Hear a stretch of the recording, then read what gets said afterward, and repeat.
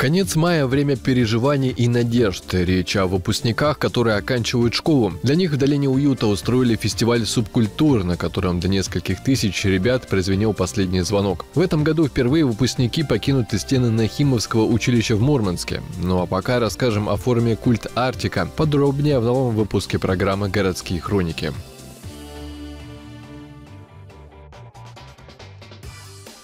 Крайний север – территория огромных возможностей для роста отраслей креативной индустрии, а значит нужно только взяться за дело и развивать его всем на зависть. Специально для этого уже не первый год в Заполярье организует масштабный форум «Культ Арктика». Арктика сейчас в центре внимания.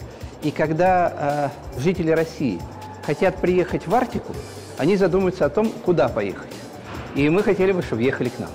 Но если мы говорим не про гостей, а про нас, про северян, для нас не менее важно через культуру, через приобщение к нашим традициям э, дарить э, вот это вот чувство сопричастности Мурманской области нашим детям и внукам, будущим поколениям. Конечно, основа экономики Заполярья – это металлургическая, горно-химическая промышленность и логистика. За последние годы удалось реализовать уникальные проекты, поддержанные президентом России. Особую гордость вызывает досрочное достижение поставленных целей. В первую очередь речь идет о миграционном приросте и остановке оттока населения. Задача и план на севере жить – это не только большие проекты, это не только место для работы, а прежде всего место для жизни.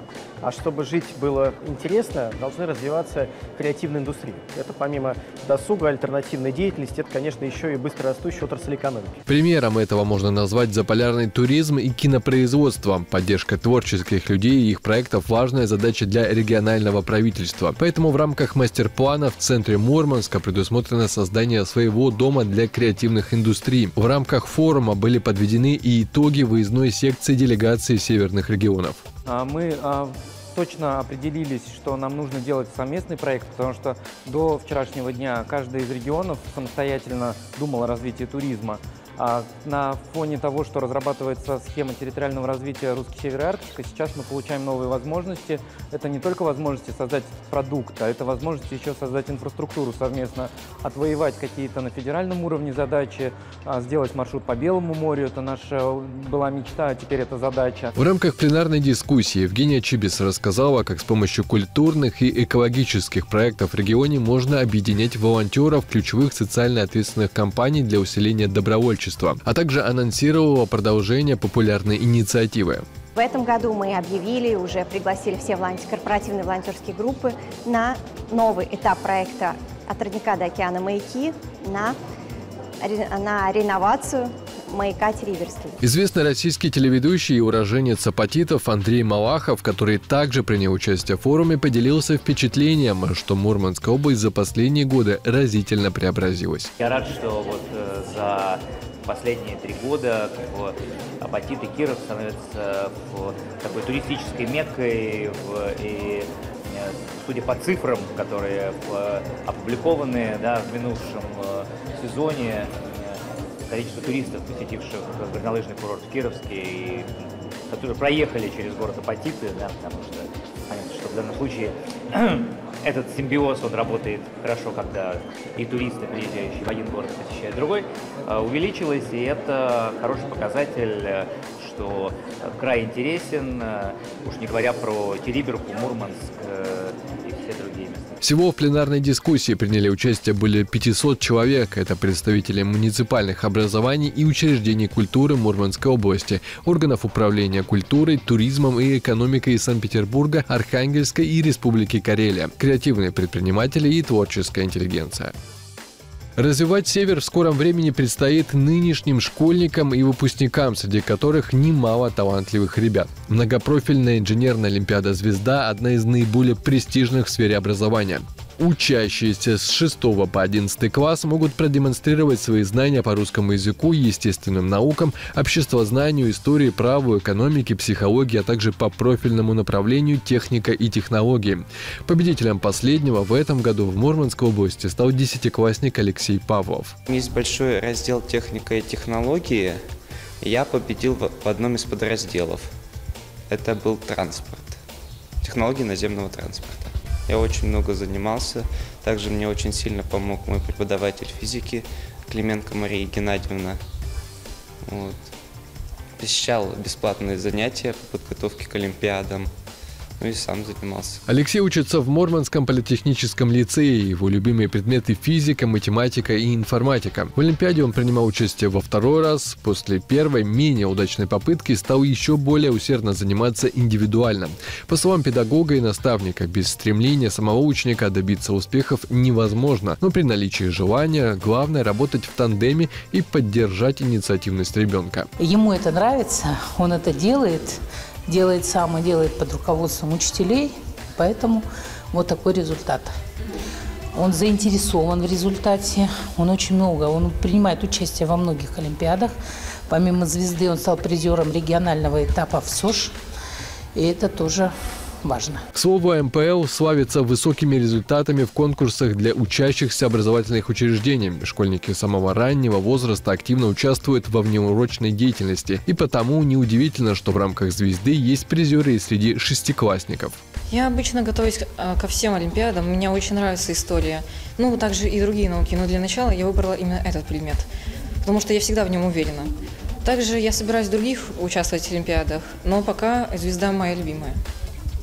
Ну, а, для меня я очень люблю участвовать в Олимпиадах, так как это огромный новый опыт, новые знания. Это всегда очень интересно.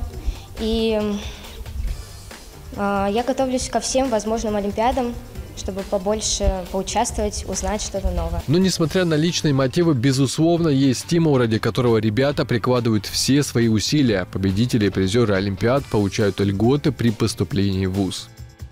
О поступлении думали многие участники последнего звонка, который состоялся в Мурманске. В долине уюта молодежь танцевала, пела, общалась, заряжала эмоциями друг друга и гостей. На празднике более трех тысяч северян смогли поучаствовать в играх, посмотреть трюки райдеров и выступления на фестивале молодежных субкультур. Все круто, но мне кажется, самое крутое из этого, что я могу здесь э, провести время с учителями, там, друзьями. В последний раз, наверное, так мы все собираемся.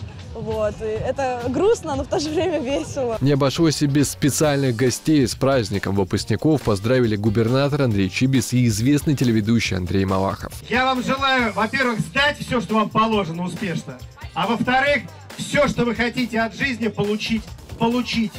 Но знайте, что главное предназначение любого человека – делать мир лучше. И вот, пожалуйста, делайте мир лучше – здесь и сейчас, и в будущем. У вас точно все получится. Вы сильные, закаленные, вы настоящие. Мы вас верим. С праздником, с последним звонком! Мечтайте, ставьте цели перед собой, и у вас все обязательно получится. Так что с праздником, дорогие выпускники! У вас прекрасная белая ночь, которая сегодня будет длинной, и берегите себя и своих близких. Не переключайтесь. В этот день выпускники смогли не только повеселиться, но и подумать о том, чем заняться после окончания школы. Студенты университетов и колледжей рассказывали ребятам о преимуществах учебы в учреждениях Заполярья и делились своим опытом поступления. Прекрасно очень. Я сходил э, к тем шатрам, там мне дали брошюрку э, э, насчет колледжа, в который я хочу поступать. Немного рассказали о моей специальности. Потом сходил туда, повеселился своим друзьям, немного порисовал, все чудесно. Но перед поступлением в колледж или вуз выпускникам еще предстоит сдать экзамены. Пока же на удачу можно выковать себе монету. Человек, верящий в свой успех, его добьется. А монета может послужить материальным мотиватором. В этот день в Долине Уюта молодежь смогла забыть о трудностях предстоящего испытания и просто отдохнуть. Последний звонок отметили и 59 учеников Нахимовского училища в Мурманске. Примечательно, что это первые ребята, которые прошли весь путь обучения в филиале с 5 по 11 класс. Перед главным административно-учебным корпусом состоялось торжественное построение. Молодые люди услышали поздравления от своих педагогов и наставников. На праздничное событие пригласили и родителей, воспитанников училища, чтобы близкие люди могли разделить с ребятами их радость. Действуйте с честью, уважением и умением поддерживать тех, кто нуждается в вашей защите и помощи. Будьте лидерами, вдохновляйте окружающих на подвиги и добрые дела.